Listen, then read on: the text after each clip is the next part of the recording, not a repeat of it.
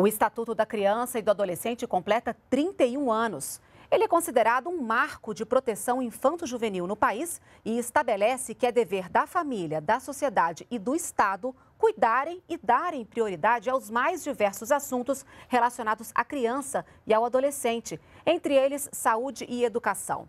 E para celebrar a data, o governo lançou uma série de ações para fortalecer o ECA. Uma das ações é o Tridígito 101 canal para que médicos façam denúncias de violações de direitos humanos de forma anônima. A criação do novo canal tem como objetivo viabilizar denúncias de violação de direitos humanos, além da notificação de casos suspeitos ou confirmados de violência autoprovocada.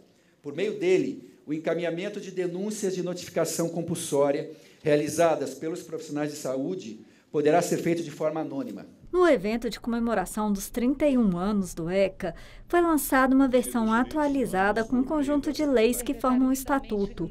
Além disso, o documento ganhou uma versão em Libras. O lançamento do ECA em Libras representa mais uma vitória para a comunidade surda do Brasil. Sonho com um dia que as nossas crianças e adolescentes surdos possam ter direito a uma educação bilíngue de qualidade para que possam se preparar adequadamente para exercer sua cidadania e se qualificar para o mercado de trabalho. Nós temos tantas violências diferentes contra a criança hoje, tantas necessidades, que a gente precisa todo dia estar falando do ECA.